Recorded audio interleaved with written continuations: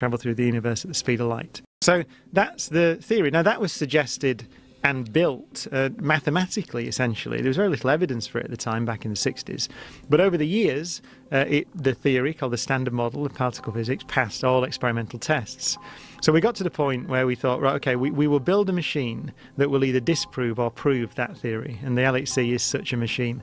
If that theory is correct, which it now seems to be, it, the prediction is you must find the Higgs particle at the, at the, LHC or some kind of Higgs particle. And indeed, we found it.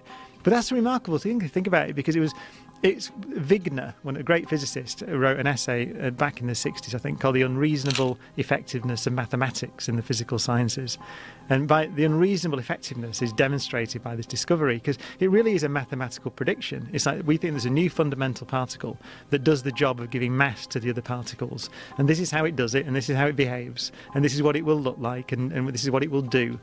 And then 50 years later, you build the biggest machine ever built, 16 miles in circumference. Most of it's in France, a bit of it's in Switzerland. 10,000 scientists, yeah, 150 thing. countries. You, you, you, accelerate protons, the nuclei of hydrogen, around this thing at 99.999999% the speed of light.